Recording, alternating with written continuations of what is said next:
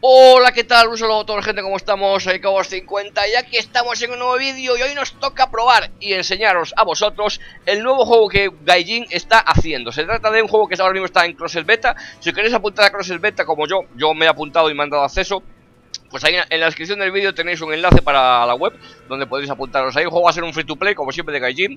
¿Y el juego de qué se trata? Pues es, digamos, es un Robocraft, pero con un estilo Mad Max. Es decir, tenéis que construir vuestro vehículo y al construir vuestro vehículo hacerlo lo más potente posible, lo mejor posible y salir a luchar batallas para ganar las batallas o conseguir mejores recursos y a partir de ahí ir subiendo de nivel, conseguir mejores recursos y hacer vuestro vehículo más potente. Digamos que es la base dinámica del juego. Construir vuestro vehículo y eh, salir a, batallar con él para que salga eh, lo más victorioso posible. Construir un vehículo potente, ya sabemos cómo es esto, así que eh, es para la cabeza y todo esto. El juego está bastante bien estructurado en cuanto a que para construir el vehículo, pues iremos desbloqueando piezas según vayamos subiendo de nivel, ¿vale? Por lo que he podido ver, aún lo he empezado a jugar hace un ratito, con lo cual tampoco me pides mucho aún. Pero este es el vehículo con el que hemos iniciado la partida, digamos el juego, un poquito modificado, con las piezas que hemos ido eh, modificando. Por supuesto, cuanto más nivel de jugador, ahora mismo estoy en nivel 4, como podéis ver aquí, a cuanto más nivel de jugador pues más y mejores piezas le podéis ir poniendo. Ahora veremos un poquito cómo son estos menús. Más y mejores piezas le iréis poniendo, con lo cual vuestro vehículo será haciendo más potente hay digamos piezas que os benefician en unos aspectos como por ejemplo el car jack este que lo que hace es que si volcáis le dais un botoncito y os da os da un golpecito y os pone de hecho un radar distintas piezas de ruedas distintas piezas de blindaje como podéis ver tubo de escape que eh, otras piezas pues en vez de dar aparte de, apariencia digamos lo que es solo bonito, pues también dan unos beneficios como este, por ejemplo, que el Fender Extender incrementa la reputación ganada por un 1%, con lo cual podemos ir mejorando nuestro vehículo en cuanto a no solo armamento, sino a efectividad en el campo de batalla. Ahora mismo también solo tengo desbloqueados dos tipos de armas, que son las Light Machine Gun y la Shotgun, ¿vale? No puedo poner aún la Shotgun porque al llevar tres Machine Gun, pues bueno, pues al ser un vehículo de, un vehículo de, digamos de nivel bajito no tiene capacidad de energía para poder ponerle más, tiene una capacidad limitada de piezas, con lo cual está muy bien para no hacer un vehículo muy OP en tiers bajos. Ya digo que he empezado a jugar hoy el juego y no lo controlo aún muy bien. Una vez que empecé a subir de nivel, os, hay diversas facciones, en este caso tenemos cuatro facciones, que son los ingenieros, los lunáticos, los nómadas y los Scavengers, que ahora mismo no sé lo que significa, no me acuerdo lo que significaba, pero son los, los Scavengers. Al llegar al nivel, empezáis con los ingenieros, ¿vale? Por lo cual iréis desbloqueando diversos blueprints, ¿vale?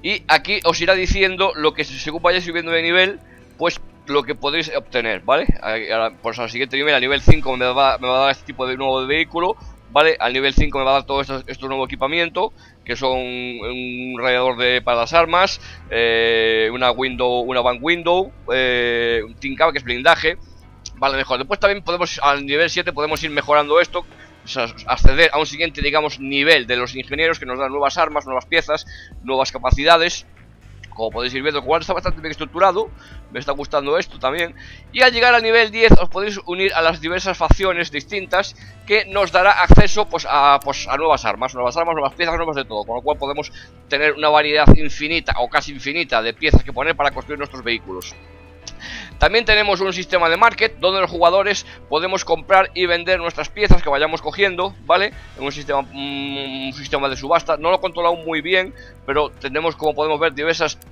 calidades de las piezas a coger. A cada mejor calidad, pues, eh, pues más cara será la pieza en oro. Este oro se va consiguiendo pues a vender nuestras piezas, por ejemplo, aquí en el estoraje, en el almacén, estas son las piezas que tengo yo ahora mismo, os ponen la cantidad de cada uno, por ejemplo, pues de este tenemos 8, pues hay algunas que se pueden vender. Con botón derecho pulsaríais y se pueden vender algunas. Por ejemplo, el car pack este se puede vender por 11,77 digamos de oro. No sé si el oro, el oro también se puede comprar por dinero real y ahora mismo pues eh, es lo que tenemos así, no digo que tenemos poquitas piezas pero bueno y ahora mismo lo que puedo construir así son estas cositas, ponerle cosas el vehículo que tengo tenemos también un almacén donde podemos comprar por distintos bundles y todo esto. Vehículos de exhibición que van creando los jugadores y que se pueden descargar, ¿vale? Muy bien. Y como decíamos, el sistema de construcción, que una vez aquí la veis a Build, ¿vale? Y lo mete aquí en este menú.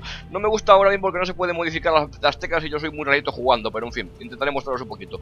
Tenéis ahí, como podéis ver, arriba todo lo que son los movimientos y las teclas aplicadas donde podéis ir moviendo las diversas piezas pues por ejemplo si queremos cambiar esta metadora de sitio pues la cogeremos y la podemos cambiar de sitio como podéis ver vale ahí tenemos eh, al principio me está resultando un poquito, yo lo veo un poquito confuso o difuso o no muy práctico, porque para coger las piezas ahora mismo, pues por lo menos no he visto ahora, otra manera. Para coger las piezas tengo que darle a escape, me voy a storage y tendré que elegir la pieza que le quiero poner.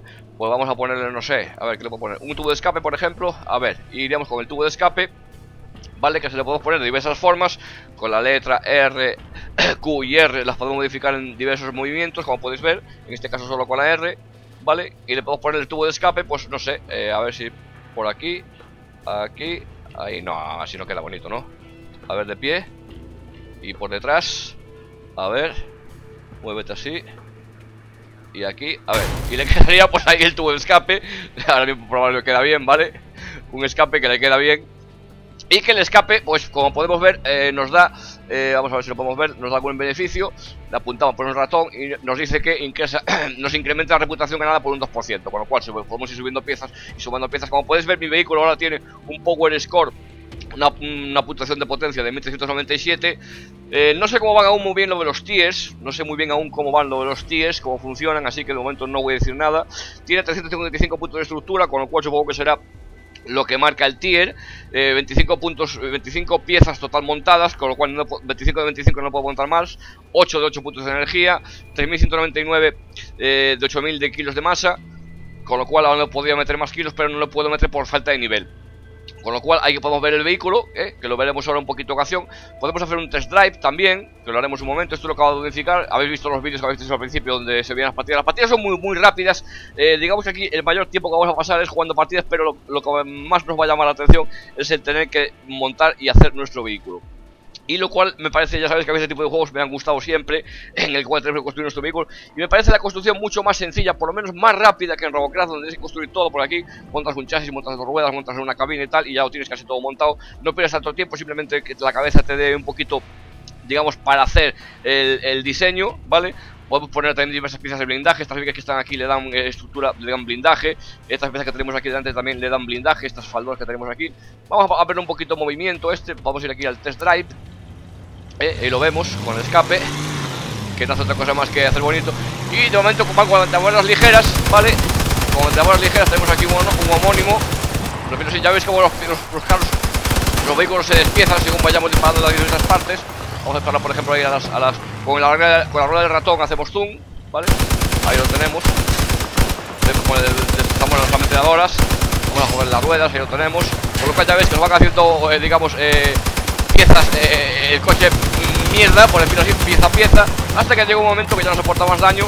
Pero ya os digo que esto, en esto, una cosa es lo que veis aquí, otra cosa es las partidas, que las partidas mucho más rápidas. ¿eh?